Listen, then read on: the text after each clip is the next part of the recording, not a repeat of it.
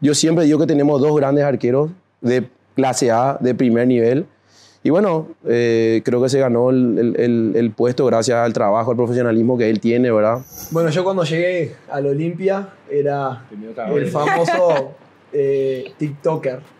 Tito, sí, TikToker Tito era la... Si no era esa rama que me arrancaba la cabeza, era un rayo que se me caía en medio a mí, a todos, ¿verdad? Pero la verdad que nosotros disfrutamos muchísimo ese campeonato porque, como decía Gastón hace rato, todo lo que sufrimos, los ataques que tuvimos,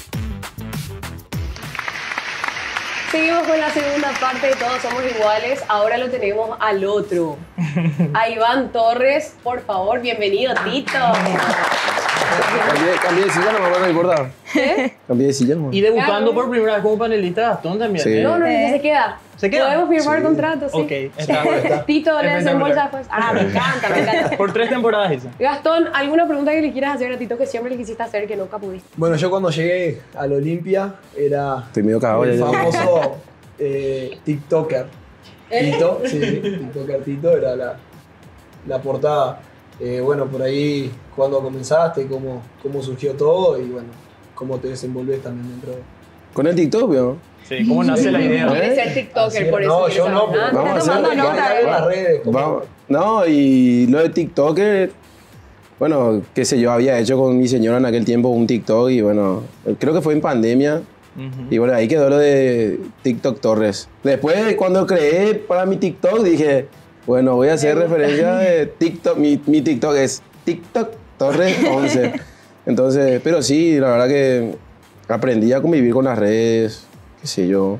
Me, hoy en día es, es una parte de mi vida, ¿verdad? porque capaz la gente me, me sigue más en redes, lo que es el fútbol, mi día a día, pero aprendí a convivir con Y eso. hablando de redes sociales, Tito, eh, vemos que respondes por ahí algunos comentarios picantes que se vuelven toda una polémica en redes sociales. ¿Cómo seleccionas los comentarios que lees? Porque te llegan millones de comentarios. Eh, tipo, te encontrás con el primero que se te presenta, lees y respondes.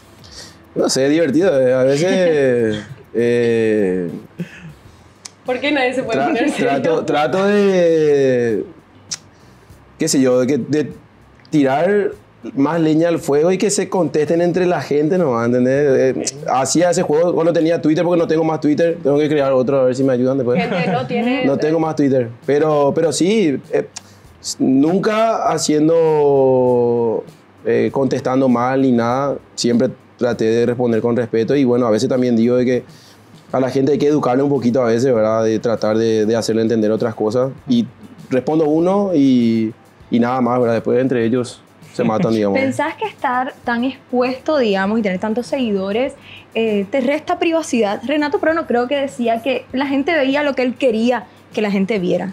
Tito Torres también hace lo mismo. O eh, de repente siente que hay una falta de privacidad eh, cuando estás en las redes sociales.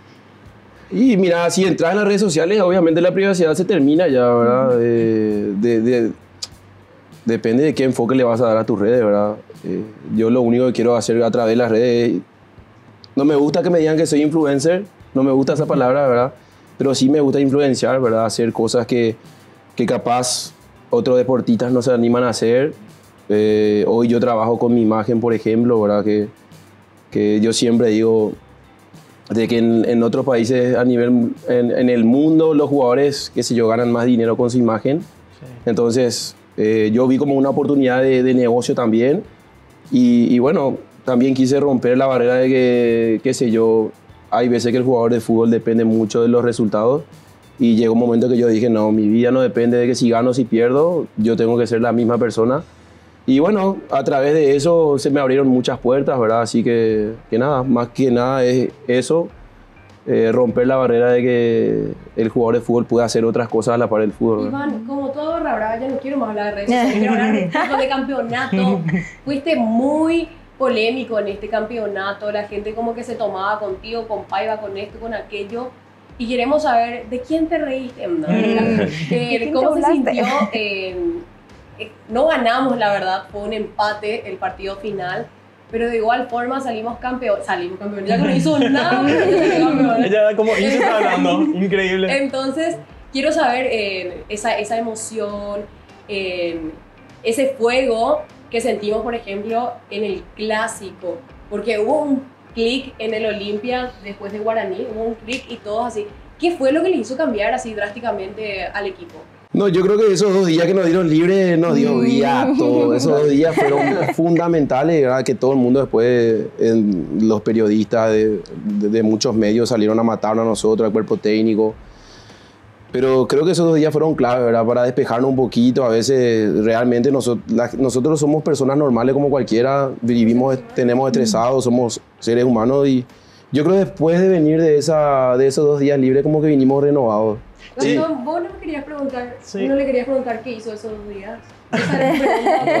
¿Sabes? No, mejor que nos pregunten. ¿Qué aparte de ¿Hay alguna cosa rara, Tito, que Gastón haga, que por ahí te llame la atención? ¿Qué sé yo? Toma su mate frío, ponele. No. Algo raro que haga. No, no, que no es, no es de invitar mucho su mate. Él. Ah, no mira. quiere que se le cede su mate. Los uruguayos son todos especiales. Y ya le vimos No tomando podés- tereré a él también ya. Ya No, te no vimos toma tomando tereré. Sí, tereré. el mate. No, toma tereré. El mate a mí me gusta que me pidan, el mate no lo ofrezco. Me gusta que me pidan y no me gusta que me lo toquen, eso sí, no. Ah. Es mío. Me dio argel hilo. ¿Eh? Por ejemplo, no le gusta, ya, Tito alguna vez te negó algo cuando No, siempre es muy predispuesto, ¿no? Por Ay, mira, mi parte, mira. No, yo no tomo tereré. Yo tomo mate. Yo soy uruguayo. quiero dormir contigo porque viste que vos Ah. bueno, de dormir, entonces- No, hasta ahí no, llego. No llego hasta no. allá. bueno, y decime, eh, después del festejo, Tito, ¿dormiste en el club? Sí, es lo que... Pero no fue, no fue por lo que pasó por el festejo, sino que fue la rama, ¿o ¿no? No, y estuvo... ¿Estás bien? No, sí, estoy bien. No, y lo que pasa que la euforia, el, qué sé yo, el- las Sí, sí. tomadas ahí, No, yo no llegué, llegué medio entonadito ya y me quedé dormido en el club, sí. Gastón, ¿vos por dónde amaneciste? ¿En el club también o...? Sí, sí, nos quedamos festejando ahí, brindando, charlando un poco también, que había muchas historias para contar. Eh, y bueno, llegué un poquito. Fue muy lindo también ver a toda esa gente que debajo de la lluvia les fue a, a, A toda esa saludar, gente. ¿verdad? Acá incluyendo a nuestra compañera que todavía está fónica por eso, pero ¿qué sintieron los dos en ese momento de ver tanta gente que gritaba sus nombres, que, que alababa a Olimpia? ¿Qué sintieron? No, a mí, me- a mí sinceramente me impresionó porque una tormenta era impresionante, era la lluvia que estaba cayendo y, y ver esa gente, Se engripó mucha gente. había, yo no sé si, no, no puedo comparar ¿verdad? a otros campeonatos, pero, pero le hizo especial porque o sea, los, los otros campeonatos no, no fue con lluvia donde la gente se iba frente al club o por las calles, pero est- esta vez era una tormenta con los rayos así, si no era esa rama que me arrancaba la cabeza, era un rayo que se me caía en medio a mí y a todos, ¿verdad? Pero la verdad que nosotros disfrutamos muchísimo ese campeonato porque como decía Gastón hace rato, todo lo que sufrimos, los ataques que tuvimos, qué sé yo, el no poder contratar, la situación del club. Eh. Sí, no, y para nosotros fue, yo veía el, el festejo y era todos llorando, o sea, yo nunca, no, no, no, no vi, no, no vi algo igual en otros campeonatos así donde capaz se te cae una lagrimita, pero este era llanto prácticamente, ¿Por porque sacamos tanta, tanta, tan, tanta carga en- con este campeonato y, y por cómo se dio también, ¿verdad? eran 10 puntos Sí. abajo, faltando 6 fechas, entonces fue muy meritorio lo que logramos nosotros, ¿verdad? Creo. Gastón, si tendrías que describirle en tres palabras a Tito, ¿cómo lo Ah. describirías? Tres palabras. ¿Quién es? Chicho. Limitado. Bicho, es bicho. Es que, es que yo quiero ver qué, le responde Tito después, porque Tito Ya va a quiere tener que irse al Primero quería tu puesto ahí, ahora quiere irse al lado BL. No, es una máquina, como se le dice. Eh. Sí, qué no cosa buena. No no, no, es mentir ¿eh? tampoco. Eh, la verdad que eh, ganador, porque creo máquinas y creo No que es el, octavo noveno título con el club, no es fácil, con un club tan grande. Para uno que recién está en el club es una imagen a seguir. Eh, y después la personalidad, como compañero, como amigo, como referente del club a la hora de pelear, a la hora de defender. Eh, Como él dice, a él por ahí mucho la opinión de la gente no le afecta y es uno de los que sale a hablar eh, muchas veces lo que refleja el equipo, sin pelos en la lengua y no tiene problema. Eh, y bueno, para mí obviamente el placer, de que ella lo sabe, de, de poder ser compañeros y, y de disfrutar de, de salir campeón, que, que bueno, ya estamos ilusionados para el nuevo año también.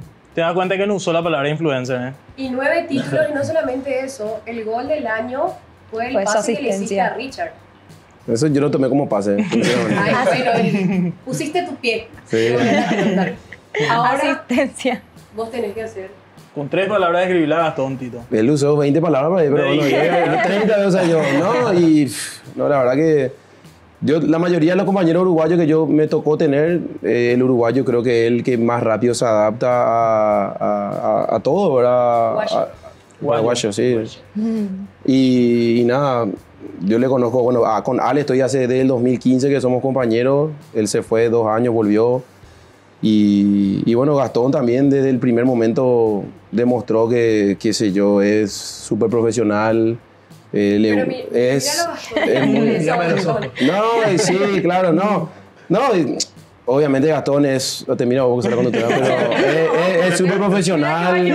No, es súper profesional, o sea, eh, como decía él también es amigo, compartimos los mates. Por más que no quiera que a veces tener que no está Gastón y agarrar medio escondida y yo agarro así de repente, le tomo dos, tres mates. Pero nada, Gastón, desde que llegó, de- o sea, desde que llegaste, demostraste que, que, que, sos- no, que es ganador, de que, de que en un puesto Sí. tan difícil que es el de arquero venir y, y bueno, te- le tocó estar de, de suplente y, y bueno, fue entrenando. Yo siempre digo que tenemos dos grandes arqueros de clase A, de primer nivel. Y bueno, eh, creo que se ganó el, el- el- el puesto gracias al trabajo, al profesionalismo que él tiene, ¿verdad? Digo también acá, ¿verdad? Que es muy buena gente, es compañero, siempre, se, siempre está pendiente de, lo, de los demás. Y bueno, creo que el aporte que le da al equipo, más el aporte que dan todos, eh, el resto hace de que, bueno, se puedan conseguir cosas, ¿verdad? Porque nosotros, como decimos siempre, priorizamos el grupo, priorizamos el- la unidad del, del equipo y bueno, eso hace que después lleguen los resultados, ¿verdad? Y bueno, yo creo que Gastón es, es pieza clave para nosotros, para todos.